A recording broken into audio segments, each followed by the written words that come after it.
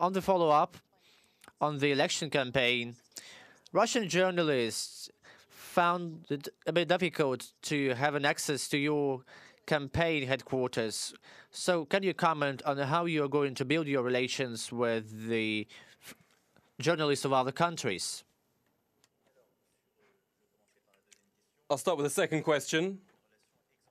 I've had an exemplary relationship with foreign journalists when they're journalists. And political leaders have responsibilities to say things. And when media out, outlets respond in an infamous way, Russia Today and Sputnik have been influential outlets which have several times have spoken mistruths about me and my campaign. And that's why they were not invited to my headquarters. All media outlets, including Russian ones, have had access to my campaign. Relationships are always the same.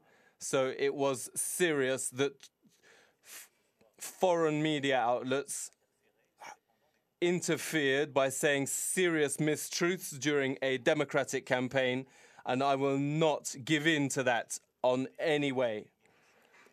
But Russia Today and Sputnik have not behaved as media outlets and journalists, but behaved as organs of influence and propaganda and false propaganda